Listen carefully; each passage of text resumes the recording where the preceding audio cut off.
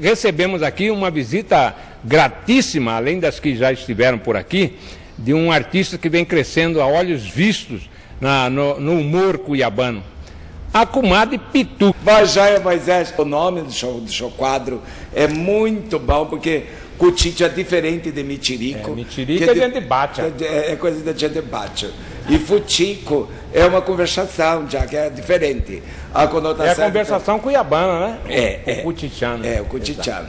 Que é diferente do futico também, porque o futico também já é outra história. então, crianças, eu vejo assim que a gente é, acaba vindo revitalizar um pouco dessa nossa história na busca dessa nossa identidade mesmo, porque é, eu não sou bairrista, eu não tenho nada contra quem chegou. Eu acho que quem chegou veio contribuir com sua cultura, com seu jeito de, de falar, de, com a tradição, com a, com a culinária, com tudo, enfim.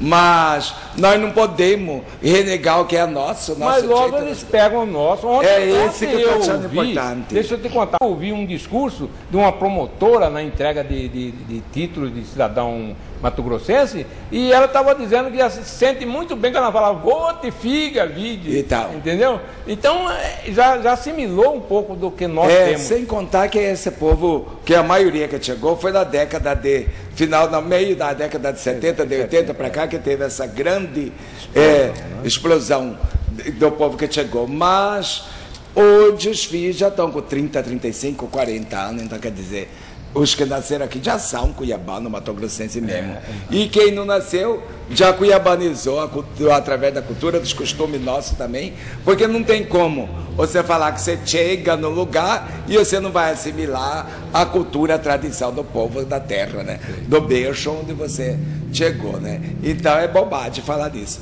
Mas e os aí, apelidos? Eu acho bom demais. Eu já fiquei sabendo que Totó bunda de... Totó eu chamo ele de bunda de garupa, porque a bundinha dele é assim, né? Então tudo empinadinho que tinha no meu tempo era chamado de bundinha de garupa, né? E os povos do Cutipó do Ouro, você pode notar. Tudo eles estão assim? Por causa do de andar de cavalo. Ah, então ah, no cavalo, a cela. Ah, perna aberta? Não, porque a cela, ela é mais altinha, para trás, né? Então, muito tempo em cima do cavalo, com a perna aberta. Acostuma. A anca fica assim. A anca, aí vai dando uma curva na, lá na anca, perto do, do coque, seja aqui, ó. Aí então vai dando essa, essa curvinha. Aí, na hora que desce do cavalo, já fica com a bundinha de garupa. Acostuma, Por isso né? que chama bundinha de garupa. De garupa. Mas os apelidos é demais. De...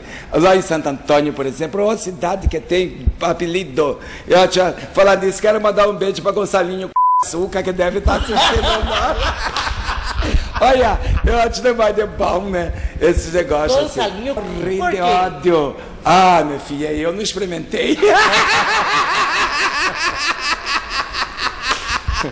É, porque essas coisas que vem do povo, você nunca sabe até que ponto que é verdade. Isso né? é futico, né? É futico. É futico é futico, debate. Futico do dia debate. Então, eu prefiro ficar assim, meio que sem saber, né? É. Então, tem. É, Zé do Carmo, que lá de Santo Antônio, que inclusive escreveu uma crônica sobre os apelidos que tem na cidade, né?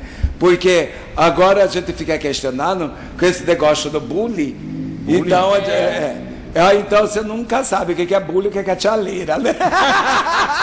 Beijo para vocês, felicidade.